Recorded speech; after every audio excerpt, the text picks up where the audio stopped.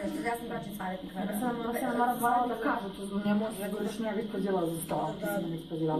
Ispozila nam spitera, ako sam to morala da kažem, ja sam izadvila. Ne znam, ovo u strani, treba to da se odvoji.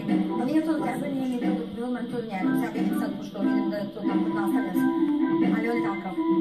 Ali, možete da odvojite pa svoje, sve to. Zato što utiče to i na van, mislim, ono, ne, ne, ne, neću da ti smišim pojma. Ma znam, u pravu si.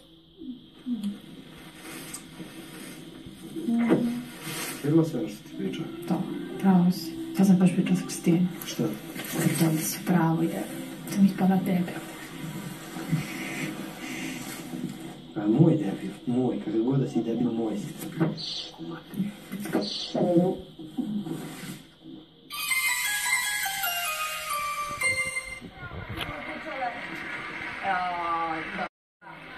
Može i slobodno ustane naravno s obzirom da je da se o njemu pričalo.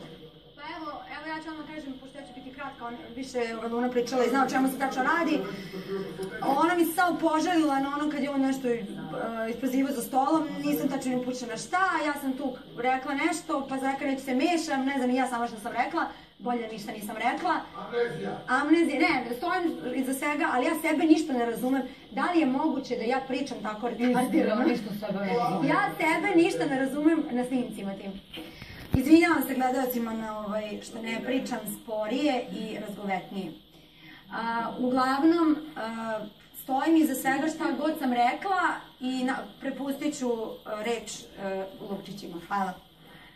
Evo ovako, ovo su dva, totalno dve druge drugačije stvari bile u pitanju. E, Kada smo Kristina ja pričala u pubu, on je bio tu, samo je pevao. Uh, danas to već smo se soba ja, to je to, taj cijel dan smo bili posvađani zbog uh, ono što je bilo sa Čajem i Anđelom, glupost neka totalna. I onda smo, u pa, uh, onda smo za stolom se po, ovaj, pokačili jer on je iz besa nešto prokomentarisao kao da bi sad preskočio ogradu, nema šta, šta da izgubi. Ali nije mislio na mene. Da, nije mislio na mene, ali ja u tom trenutku nisam, ovaj, uh, nisam ovaj, znala da on ne misli na mene i odreagovala sam tako što sam ustala i rekla sam, eto moj dečko koji me kao navodno voli, bi sad preskočio ogradu, nema šta da izgubi. Mene je to mnogo uvredilo i eto to sam prokomentarisala sa Kristinom. Uh, je on, ne treba tako da reagujem, kako ne treba tako da ustanem da prozivam i ja sam rekla da se priča s Kristinom o tome i da, i da je on upravo jer se na mene posle posle toga naljutio i zamerio mi to što je ispalo kao da ja njega prozivam za stolom. Eto, to je bilo, to su to totalno različite stvari bile u pitanju i ispalo je kao bez veze, ali nema veze, eto, to, to je ono što ja mogu da kažem. Uglavnom, on zna sve, to nije bio tu, samo što je peo, nije, nije se vidio na snimku, eto.